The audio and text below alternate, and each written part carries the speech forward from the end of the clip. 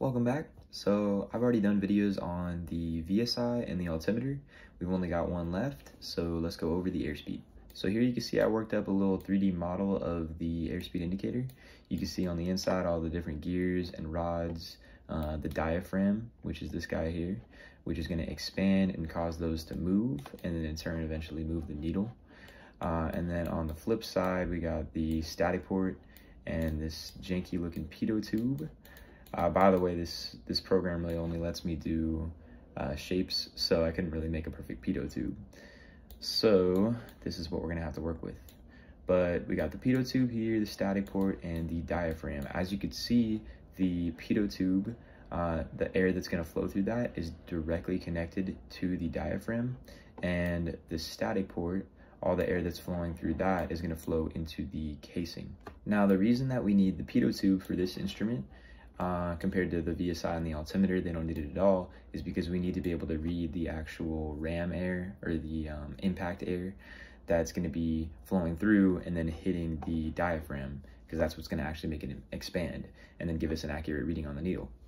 But we also need to be able to read the different pressural air outside. So they work hand in hand, the pitot tube and the static port, because it works kind of just like the altimeter. So let's just say, even if our airspeed was at 80 knots for the entire flight, if we start to do a climb up to some less dense air, then the instrument is gonna wanna start to contract because it's gonna be at a different pressure than the casing if we didn't have the static port. But since we do have the static port, the casing and the pressure on the inside of the actual diaphragm are going to always be the exact same. So they're basically going to cancel out and it's not going to be a factor that's going to actually affect the airspeed indicator. Since the pressure isn't going to matter as we do our climbs and descents, we won't have to worry about that anymore. All that's really going to matter is the actual ram air or impact air that's going to flow through the pitot tube. So let's talk about a scenario where you start to do a takeoff and you add full power obviously the speed of the air is going to increase slowly, which is then in turn going to flow through the tube and hit the diaphragm, causing it to expand.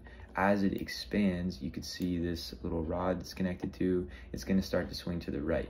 Uh, when that does so, it's going to move this whole other rod attached to it also to the right, therefore moving this gear up here towards the right, twisting this other gear to the right as well, and finally, that's connected to the pole that's actually gonna rotate the needle to the up position.